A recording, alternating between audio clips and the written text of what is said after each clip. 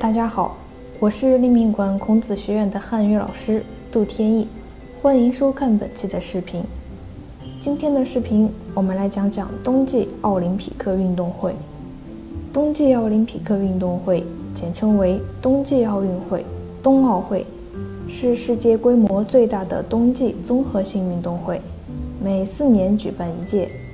一九九四年起。冬奥会与夏奥会以两年为间隔交叉举行。在二零一五年七月三十一日，北京以四十四比四十击败对手阿拉木图，赢得了二零二二年第二十四届冬季奥林匹克运动会的举办权。这是中国第一次举办冬季奥运会。你知道吗？日本已经举办了两次了呢。一九七二年。在日本札幌举办了第十一届冬季奥运会。一九九八年，在日本长野举办了第十八届冬奥会。现在，二零二二年将在中国北京张家口举办第二十四届冬季奥运会。北京主办冰上项目，张家口主办雪上项目。就像大家看到的那样，冬奥会的海报，也就是二零二二年冬季奥运会会徽。是以汉字“冬”为灵感来源的，会徽以蓝色为主色调，寓意梦想与未来，以及冰雪的明亮纯洁。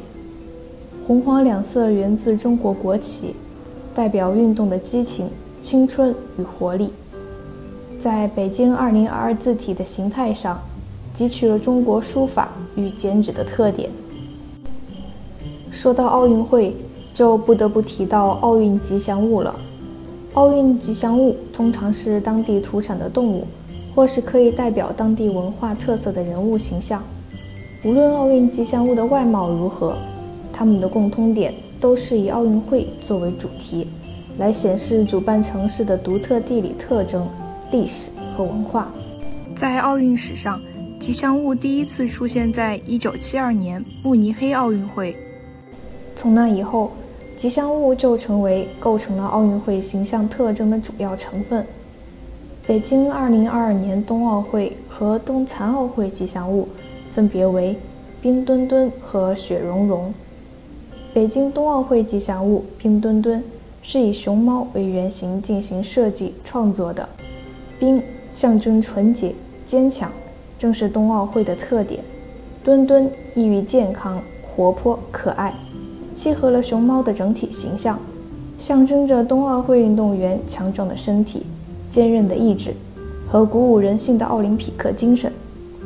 北京冬残奥会吉祥物雪融融是以灯笼为原型进行设计创作的，雪象征洁白美丽，是冰雪运动的特点。融意喻包容、宽容、交流互鉴，融意喻融合、温暖、相知相融。融融表达了世界文明交流互鉴、和谐发展的理念，体现了通过残奥运动创造一个更加包容的世界和构建人类命运共同体的美好愿景。